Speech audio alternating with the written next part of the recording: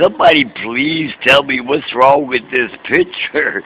Please, in the name of Jesus. In the name of Jesus.